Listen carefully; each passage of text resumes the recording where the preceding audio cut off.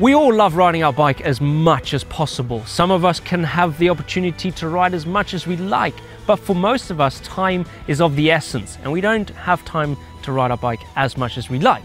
Now, commuting to work is a great way to get the most out of your hardtail. Uh, you can go on to a number of different apps where you can plan in a different route.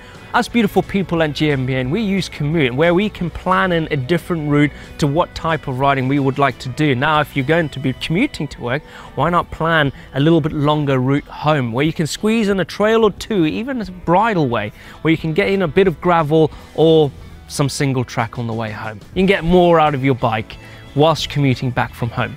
There we go.